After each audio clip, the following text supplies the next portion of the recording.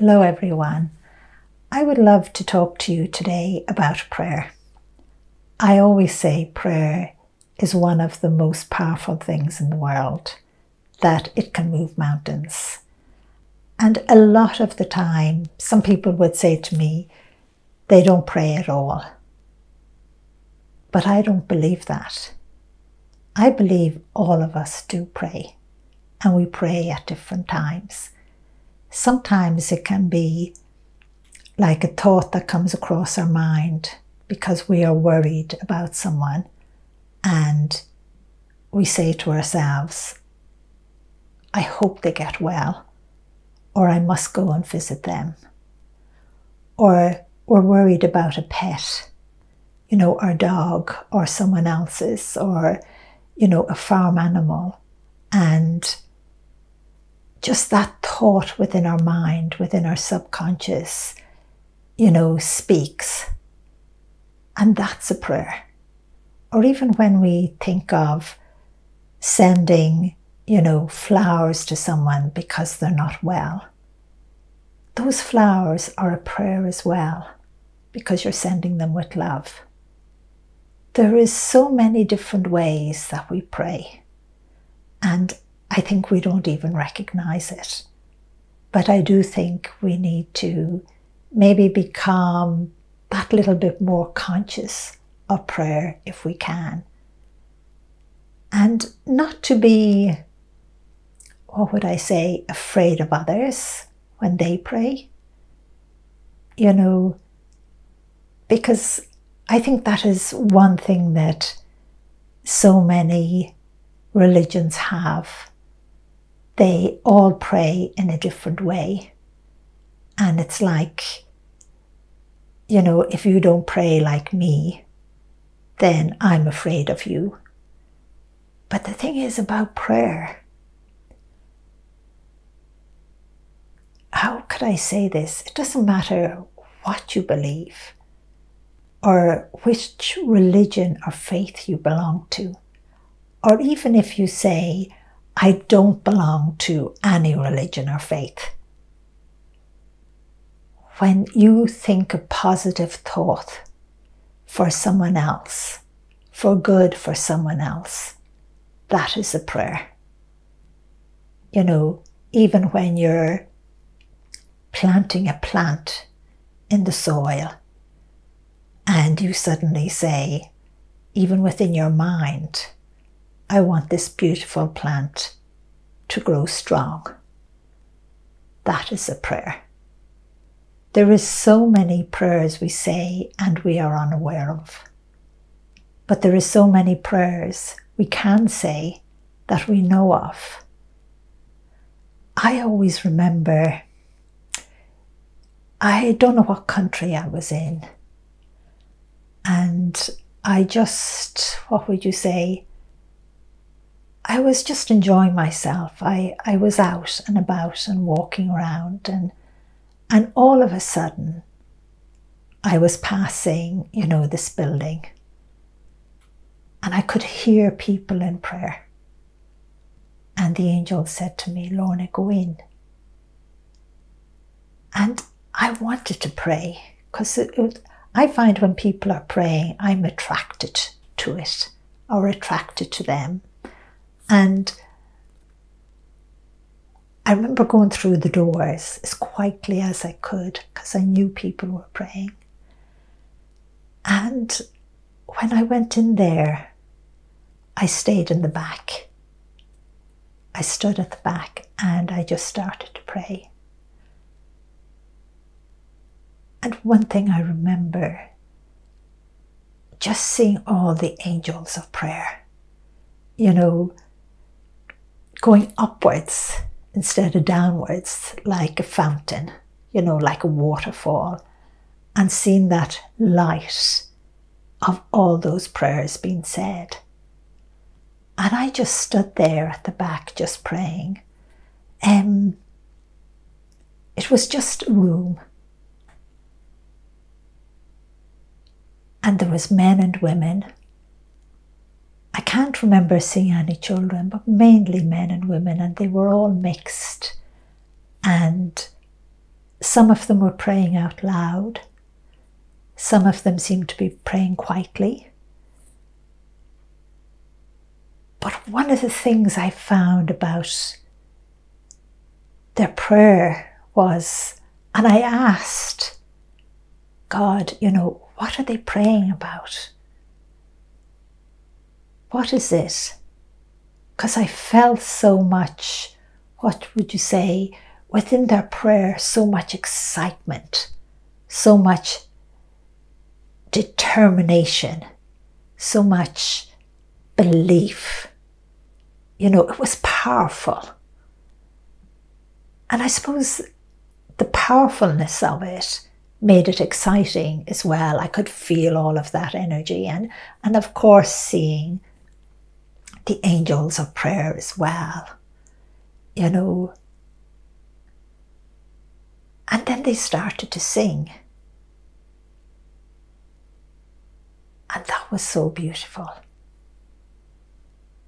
And then the strange thing that happened was I was just standing there, kind of keeping out of the way, joining in the prayer. And suddenly I was noticed. And the power of their prayer changed because their prayer lost love all of a sudden. It was like, How dare you pray with us? Who are you? And they didn't even ask, you know. But how would I say? I asked God at that moment, why should they be afraid of me because I stood there praying with them, but not in the same way as they were praying? And Archangel Michael said, because they are afraid of the way you pray. And I remember that just touching my heart because I couldn't understand. And even today, I can't understand that either. And I have found that, you know, with so many different faiths, that there seems to be a problem, that we are afraid of each other, of the way we pray. And I would love that to go away because we shouldn't be afraid of the way someone else prays. We should be able to run forth, run in. You know, even if it's a field where people are praying or it's in a building or, you know, the door should always be open that anyone can come and pray that it doesn't matter um, what faith or what religion you are, or even if you belong to none, even if you say, I don't believe in God, I, I don't believe in any religion, but everyone prays. And we all pray in just different ways. And prayer is extremely powerful. And that day I could feel and I could see how powerful their prayer was. And I asked God to help them and to allow their prayer to be granted. Um, and I always even remember another time um, I was, what would you say, I was, um, I was at the airport and I went into the little room that they have where people can go and pray. And when I went in, it was empty. So I just sat down there and I started to pray.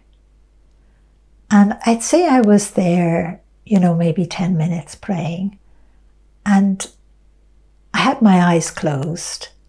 And I remember other people came in and they were praying as well. But again, which was sad, they were all of a different faith. To me, I am of all faiths because it's the one God. So I, I, guess I find it hard to understand why we're putting barriers up. But even at that time, there, what would I say? When I had opened my eyes, there was two men standing in front of me, and they said, "You shouldn't be in here praying with us. You should leave." And I felt so sad that they felt that way because I could feel the fear from them as if I would contaminate their prayer. But you cannot contaminate prayer. Um, because prayer, no matter what, is going straight to God. And the angels are even enhancing our prayer for us. And prayer is extremely powerful. So I would love, and I know it will happen one day, when people all come together of all faiths and even of none and you know pray together under the one umbrella i remember being shown that um, that it would happen in the future and and seeing it and just seeing what would i say you know the happiness and joy of everyone of every culture in the world joined together and praying and completely, what would I say, mixed. You know, not, what would you say? I don't know whether it's the word segregated. I'm dyslexic, so sometimes words are hard to say, but not in groups. They were completely mixed. And watching that and seeing the power of that prayer and and the joy of it. So I know one day we will get there, but I think we are a long way from it at the moment. But I think it's all up to us to realize that prayer is for us all, you know, and we shouldn't be afraid of each other or the way each other prays. You know, even um,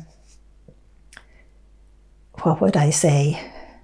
I've just have had so many experiences of where different faiths are, in a sense, a little bit offended by the way someone else prays, and even myself in in the sense of, you know, being brought up here in Ireland, and you know, sometimes someone would say to me, oh, but Lorna, um,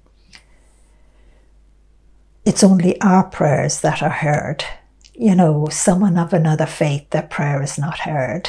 And I would always have to smile and say, you know, everyone's prayer is heard. It doesn't matter what faith you are.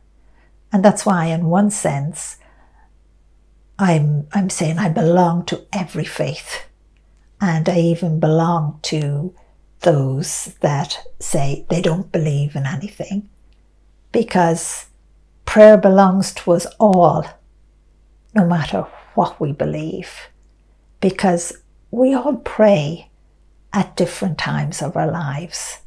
There is always something happening that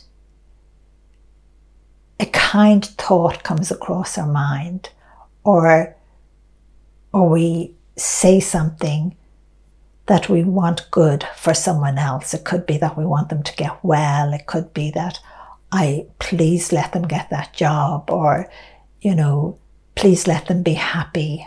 I, I hate seeing someone so sad. And all of these beautiful thoughts that cross our minds, that come into our consciousness, um, they are prayers. And again, it's even like, you know, as I said earlier, we give someone a bunch of flowers, or, you know, maybe we share or invite them out for a cup of tea or coffee. You know, when we try to cheer someone up, it is because we are feeling for them. And that feeling is a prayer.